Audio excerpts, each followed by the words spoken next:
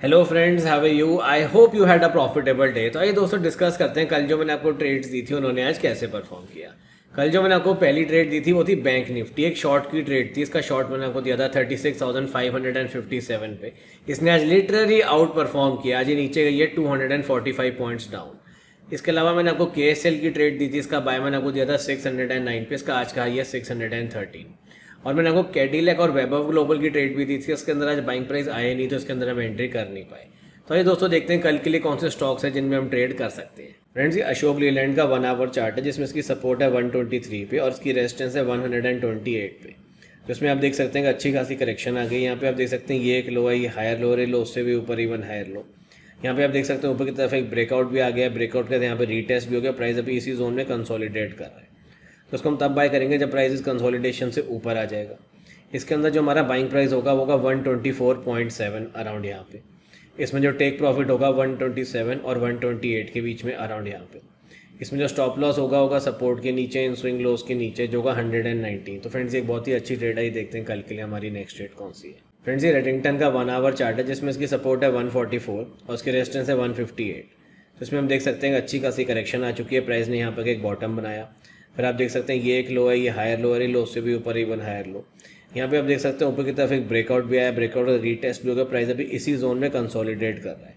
तो इसको हम तब पाई करेंगे जब प्राइसेस कंसोलिडेशन से बाहर आ जाएगा। इसके अंदर अगर हम एक इंडिकेटर लगाते हैं एचिमो को तो यहाँ पे हम क्लियरली देख सकते हैं कि प्राइस अभी क्लाउड्स के अंदर है तो उसको हमें तभी बाय करना चाहिए जब प्राइस क्लाउड्स के बाहर आ जाए। तो कल अगर प्राइस यहाँ से इस कंसोलिडेशन से ऊपर आ जाए तो at the same time price clouds के भी बाहर आ जाएगा। इसके अंदर जो हमारा बाइंग प्राइस होगा होगा 147.8 अराउंड यहाँ पे। इसमें जो टेक प्रॉफिट होगा होगा 157 और 158 के बीच में अराउंड यहाँ पे।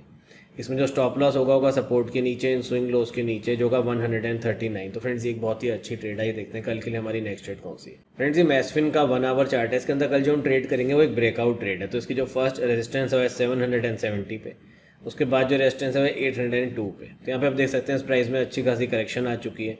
यहाँ पे आप देखेंगे ये एक लो है, ये हायर लो ही लो से भी ऊपर इवन हायर लो अभी आप देख सकते हैं प्राइस कंसोलिडेट कर रहा है जस्ट रेजिस्टेंस के नीचे। तो उसको हम तब बाय करेंगे जब ऊपर की तरफ़ एक ब्रेकआउट आ जाएगा। जो रिस्की ट्रेडर्स हम डायरेक्टली बाय कर सकते हैं ब्रेकआउट पे। जो कंजर्वेटिव ट्रेडर्स हैं, वो ब्रेकआउट का रीटेस्ट की वेट करें। रीटेस्ट आपको सेवन सेवेंटी का चाहिए होगा और रीटेस्ट आप फाइव मिनट चार्ट में भी देख सकते हैं। उसके बाद जब प्राइस ऊपर जाना शुरू होगा, तब आप इसको बाय कर सकते हैं। इसके अंदर जो बाइंग प्राइस होगा होगा seven hundred and seventy four around यहाँ पे। इसमें जो टेक प्रॉफिट होगा होगा seven hundred and ninety six और एट हंड्रेड एंड वन के बीच में अराउंड यहाँ पे।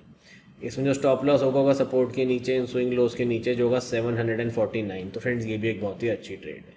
तो दोस्तों, आज के लिए बस इतना ही। और कल ड्यूरिंग द ट्रेडिंग टाइम अगर इंट्राडे में कोई ट्रेड आती है निफ्टी या बैंक निफ्टी में तो उसको मैं डेफिनेटली अपलोड कर दूँगा अपने टेलीग्राम पे, मेरे टेलीग्राम का लिंक डिस्क्रिप्शन बॉक्स में।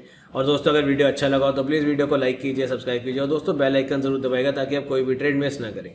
मैं मिलता हूँ आपसे जल्दी नेक्स्ट वीडियो में, तब तक के लिए goodbye and take care friends